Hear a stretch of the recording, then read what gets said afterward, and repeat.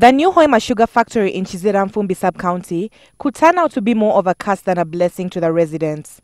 At least 700 locals have been displaced to pave way for the project. Francis Matovu is one of the aggrieved. Matovu is your everyday ambitious youth who nursed big dreams for a brighter future. But all his aspirations now seem to have gone with the wind. I'd got my capital of about 1M. Then that capital I'd invested it by creating up a, a small shop in our area because we had there a booming center which was developing at a very high speed. Then I invested my capital there and I was working, I could get my money, I could do whatever, so my life was good. But since that eviction happened on 20th, oh, 20th of February this year, all those were looted and nothing I picked out. To make matters worse, the residents claim that the local leaders to who they run for help have not helped.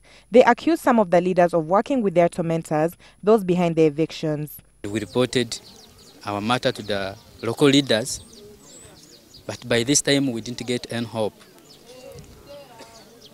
When we could go to the chairman LC3, the RDCs, they could just see, look at, at us as if we are animals. Francis Wesije, chairman LC3, uh, he's the one who uh, he's involved in the in, uh, he's involved to evict our, our our people.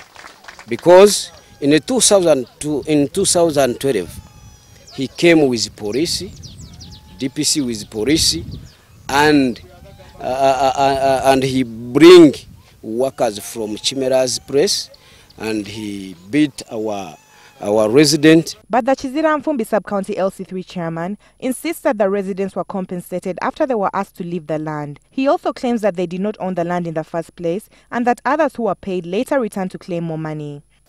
Those people were evicted and they were paid. So this is the second time, if you can see in, in the other list of those people who were evicted, that Stephen was there. But like other evictees, Stephen vehemently denies receiving money and claims that what appeared as compensation was stage managed. There is no people who who who compensated.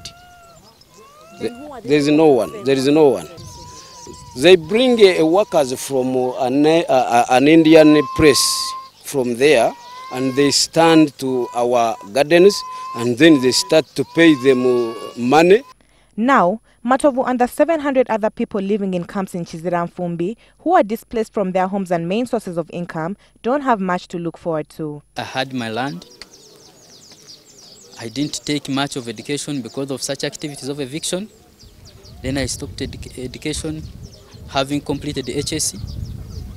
I went back to the ground. I sat, I got a hoe, had to cultivate.